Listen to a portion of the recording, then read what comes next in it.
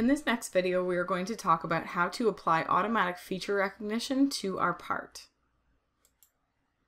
So now that we've got our machine, our stock, and our coordinate system set up on this part, we can use the extract machinable features to find the machinable features on the part itself. Before we select extract machinable features, we need to tell the software exactly which features we want it to find. To do that, we're going to go into our SOLIDWORKS CAM tab in the Command Manager, and we're going to choose the SOLIDWORKS CAM options. So if I click on the SOLIDWORKS CAM options button, it's going to bring up my options window, and I'm going to switch over into the Mill Features tab. Inside the Mill Features tab, you'll see there's a section called Extract Machinable Features, and this allows us to select the feature types that we want to apply to this part. So we're going to find holes, non-holes, which are pockets, slots, that kind of thing, boss features, a facing feature, we want to face the top of this part, part perimeter feature, and any tapered or filleted features on the, on the part as well. You'll notice as we select some of these features, you also get more options that are available. So for example, for the part perimeter, we have the option of an open pocket type or a boss type to machine this feature. So the boss type is basically just going to give us a contour toolpath around the outside profile. However, the open pocket type will give us a roughing and a finishing toolpath around the outside. So we're going to choose the open pocket type.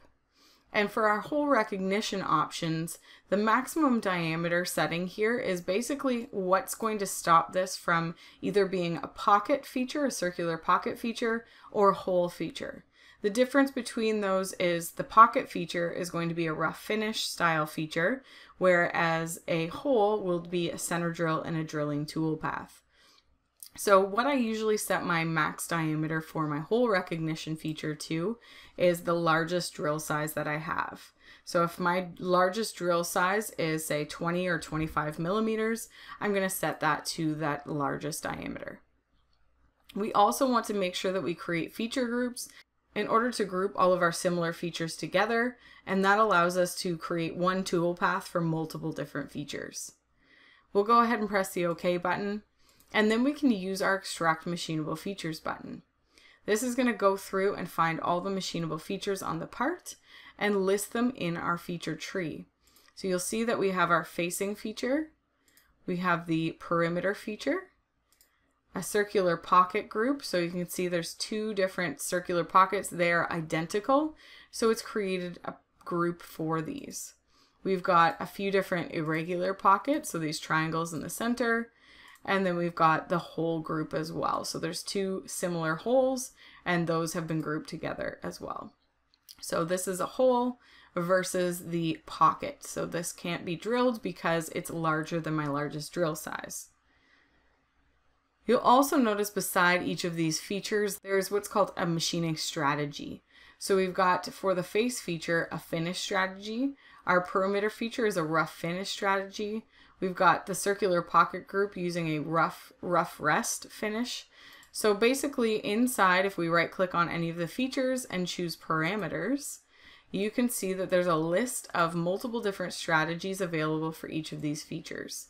So if we just wanted to choose a rough finish strategy for our circular pocket group, we can change that and it's going to give us a rough mill and a contour mill. So this is our rules-based machining. And basically we're choosing different rules in order to set up different tool paths for these strategies. We can go through and create as many different strategies as we want, or we can manipulate the existing strategies that are in here. Once you've selected the strategy you want to use, you press OK, and it's chosen that strategy in our feature tree. We can also move these features around into whatever order we want. So if we maybe want to do the perimeter cut very last, we can move that to the end of the feature tree. So we can set this up into whatever order we want to cut these in. We can also then go to the generate operation plan and that's going to go through and apply those strategies to the features. So you can see we switched over into the operation tree and now we've got all of our tool paths listed in here. We can now go and generate the tool paths and it goes through one by one and creates the tool paths. You'll see that they're all black and now we can highlight these tools, these tool paths, and it's actually going to show us a preview of what the tool path looks like. So there's our face mill on the top. We've got some roughing tool paths, the contour to finish those up, a roughing tool path on this inside pocket, and then another roughing tool path. So this is our rest machining tool path using a smaller tool and only machining what's left over from the first tool path. And then we've got the contour tool path to finish that. So lots of different tool paths applied to these features, all depending on what we've set up inside those machining strategies.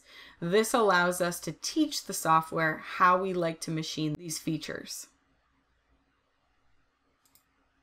The last thing we may want to do is if we come back into our operations tree, we can sort these tool paths using our sort operations. So basically what we're going to do is either highlight the mill part setup one on the top here and choose sort operations from our SOLIDWORKS CAM tab in the command manager, or we can right click on that actual setup and choose sort operations from the right click menu. We're going to go into our sort tab and this allows us to sort by either operation type or by tool. And then you can also choose whatever you didn't choose in the first selection. So if I chose operation type first, I can then choose tool in my then by. I'm going to choose tool first. You can also reorder the tools to whatever you want these to be set to. And then we can also choose operation type and these can also be reordered. If you're reordering these features, you're just basically going to move them around so I'm dragging them into position that I want to see these tool paths cut. I'm going to go ahead and press the apply button. You can see on the left hand side that this is how it sorted them. If you're okay with that position, you can press the OK button. If you aren't, you can undo, change these around again, and then press apply again. So we're going to press the OK button and we can kind of see how this is laid out. There is a contour toolpath here that's been set to cut the inside profile of these features. That became the second toolpath in my list because of the tool size. I can move this down just by dragging the toolpath into position to wherever I need that to be. So now it's doing all of my roughing toolpaths first, then it comes through and does the contour toolpaths afterwards.